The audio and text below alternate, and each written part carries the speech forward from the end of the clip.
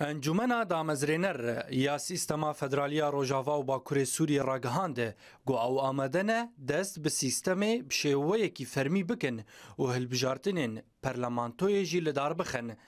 Li gorî texmînên endamên encûmena damezrêner dê di destpêka cotmeha bê de federalî bê ragihandin piştî ku amadekariya Peymana civakî û gotûbêjkirina wê bi dawî bû.